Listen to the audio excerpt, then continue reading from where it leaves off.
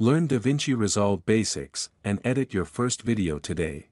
First, download DaVinci Resolve and install. Now create a new project. Open DaVinci Resolve. When the project manager opens, click New Project. Type a name for your project and click Create. OK, now go straight to the Edit page.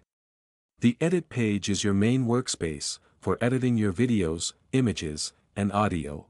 First, import your video. Right-click in the media pool, choose Import Media, and select your video file. If DaVinci Resolve asks to change the frame rate, click Change to match your video.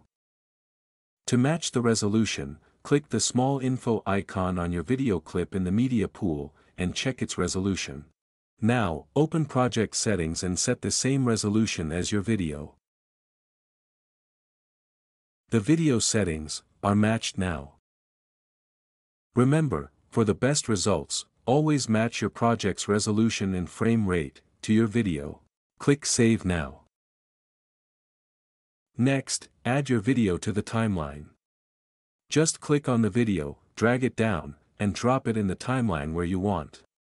By default, the video and audio are linked, so they move together. If you want to edit them separately, right-click the clip, and uncheck Link Clips. If you don't need the audio at all, just right-click the audio clip and choose Delete Selected. The Viewers. You can preview your edits in the Timeline Viewer. Use the playback buttons to control the video. In the source viewer, you can see clips from the media pool. For a simpler layout, switch to single viewer mode, to see everything on one screen. To navigate the timeline, use the playhead. It is a vertical red line, that shows your current position in the timeline. Drag the playhead with your mouse, or click anywhere on the timeline to move it. Use the home key to jump to the beginning, and the end key to jump to the end. You can also click and hold on the timeline, and drag left or right to move it. Use the minus and plus icons to zoom in and out, on the timeline. Click full extent to view the entire timeline. Let's do some basic editing. First hide the media pool. OK. To cut a clip, use the blade, and click where you want to split a clip. Or, switch to the selection tool, place the playhead at the point, and press Ctrl plus B. Delete a clip. Right-click the clip, and choose Delete Selected. The clip is removed, but the gap stays. To delete and close the gap automatically, right-click and choose Ripple Delete. Trim a clip, that is adjust its length, hover over the start or end of a clip, then drag to adjust its length. Copy a clip.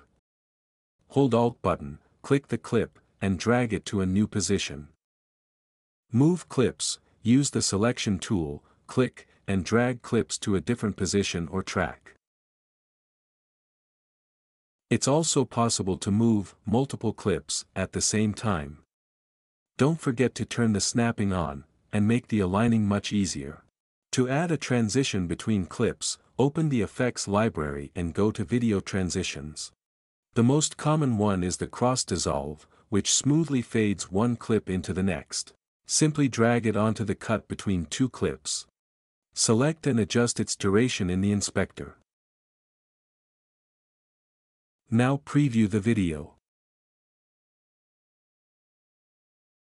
To enhance your video, go to the Color tab at the bottom. The Color tab is very advanced, but we'll keep things simple for beginners. First, select the clip you want to correct. To select multiple clips, click the first one, then hold Shift and click the last, everything in between will be selected. Use color temperature to make your video warmer or cooler. Adjust contrast to make the image clearer, and use gain to brighten the highlights. Increase saturation to make colors look richer.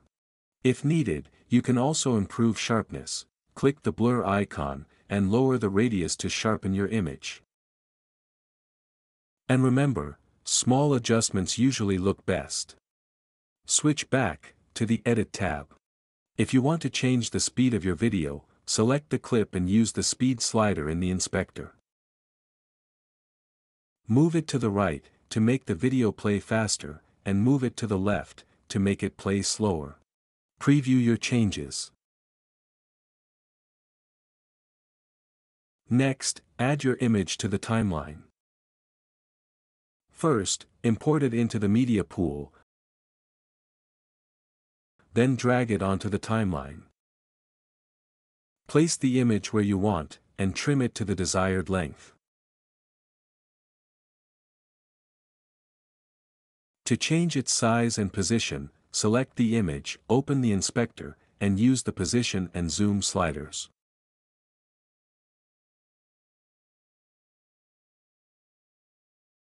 You can also add a transition, open the effects library, choose cross dissolve, drag it onto the image. Select, and adjust duration as needed. Preview your clip now.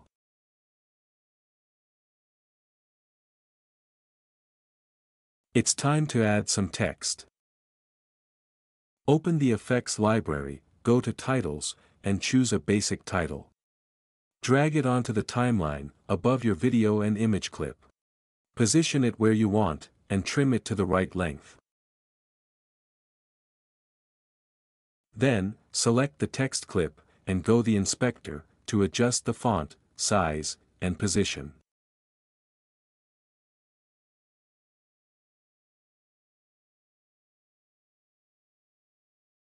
If you'd like, you can also add a transition from the effects library and adjust its duration. Finally, preview your video to check the result. Now we can add some audio. Import your audio into the media pool. Place your audio file in the audio track, then position and trim it to fit your video.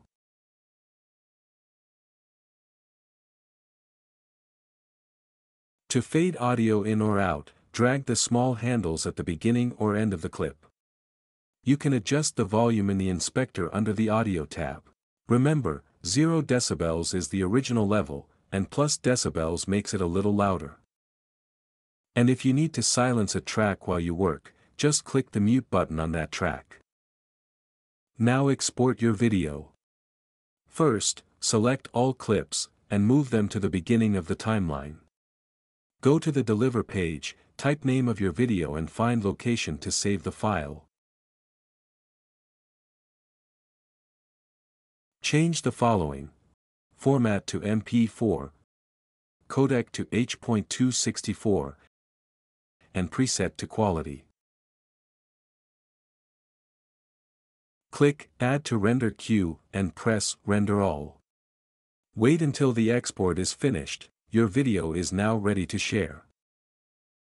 If you want to use a vertical resolution, for example for YouTube Shorts, go to Project Settings and check Use Vertical Resolution, then click Save. Next select each clip in the timeline, and use the inspector to adjust its position and scale, so the video fills the vertical frame correctly.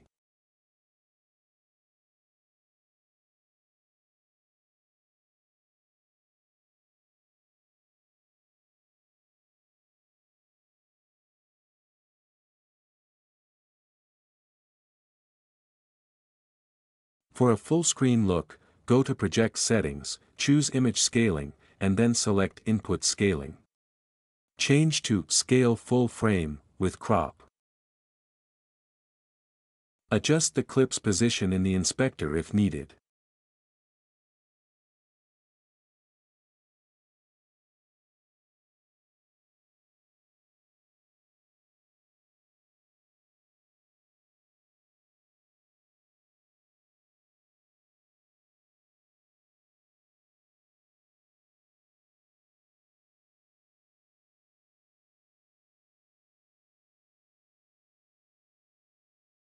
Move the horizontal divider between audio and video tracks up or down, to move all tracks in the timeline. You can also move the track edges to adjust their height, making it easier to see your clips. To make the viewer bigger, drag the horizontal handle just below the viewer, to resize the preview window.